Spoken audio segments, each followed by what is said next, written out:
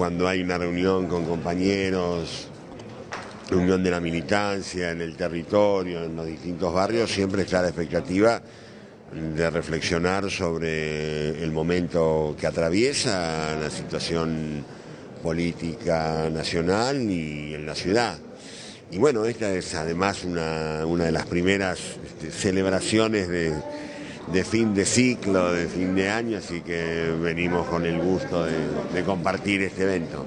De la balanza en su conjunto, no puedo más que señalar el, orgullo de haber sido el ministro de Trabajo de Néstor Kirchner y luego haber acompañado durante estos cuatro años a la gestión de la presidenta Cristina Fernández de Kirchner dos presidentes que además han hecho del trabajo, de la defensa de los derechos de los trabajadores, de la recuperación de las instituciones, de la negociación colectiva, un eje fundamental de su gestión. Así que solo me cabe celebrar haber podido haber sido el ministro de Trabajo de estos últimos ocho años.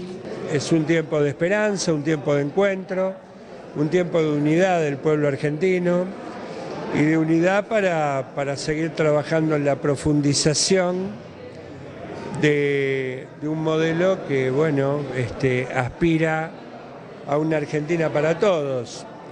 Eh, en realidad, la sensación más fuerte que tiene el pueblo argentino es este, la de estar en el camino correcto. Decidimos hacer la cena de todos los años que hacemos a fin de año. El año pasado fue en Perón Perón con, Carlos Tomada y con, Amado Vudú y Jorge Cosia.